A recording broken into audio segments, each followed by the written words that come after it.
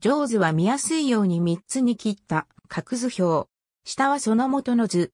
崩壊モード角図表とは、陽個数と中性指数を座標軸にとった平面上に原子核の各種を配置した図である。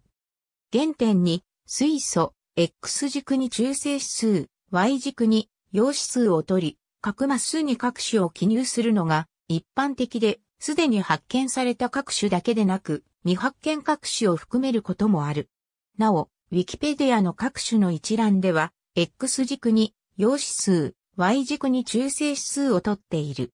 角図表は、周期表と異なり元素の科学的な性質はほとんど読み取れないが、核の安定性や陽子、中性指数に基づく原子核の規則性をつかみやすい。元素合成等を考える上で重要となる。基本要素以外にも各種に関わる要素が付記されることが多い。